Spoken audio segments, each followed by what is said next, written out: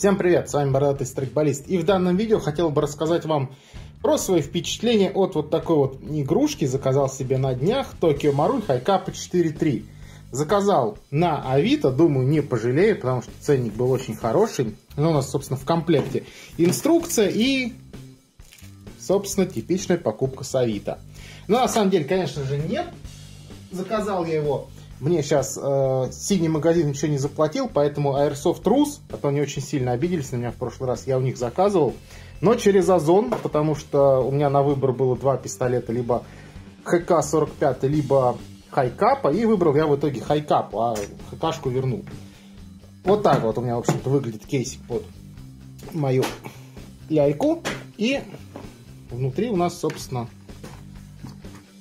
как можно увидеть, хайкапа 4.3. Ну, сюда на самом деле и 5.1 прекрасно влезет. Здесь дополнительный вырез там будет.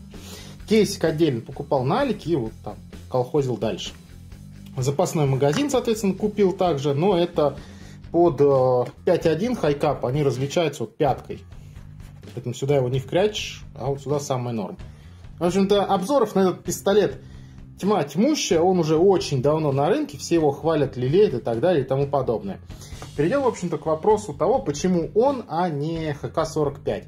HK45, конечно, дороже, там почти на десятку был, и при этом, к нему, как ни странно, магазины дешевле стоят.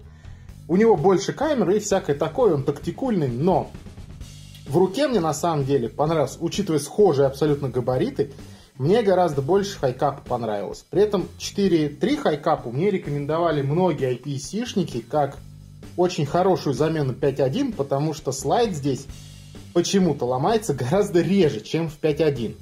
Понятно, что сейчас есть у нас лист Crane 5.1, который можно типа вот тут поменять, и он, наверное, весь пистолет дешевле выйдет, чем Metal Kit на 4, ой, пардон, на 5.1 хайкапу.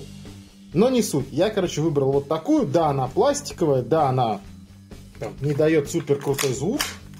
Вот так вот. Это если кто не знает, как она звучит. Даже можно вот так вот. Вот так вот она. Тут, скорее всего, конечно, эхо вы услышите. Ну да ладно. Главное, продемонстрировал, как говорится. В черном цвете.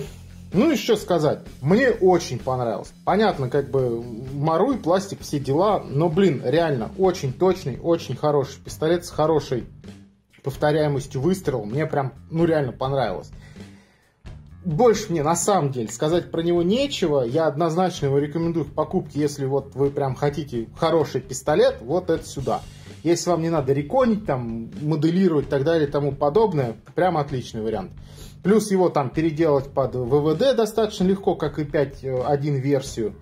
Так что мой вердикт, блин, берите, не пожалейте. Да, это по цене более-менее неплохого привода сейчас – но что поделать, этим пистолетом привод в некоторых ситуациях на самом деле можно и заменить. Ну а с вами был Бородатый Страйкболист. Всем спасибо, всем пока.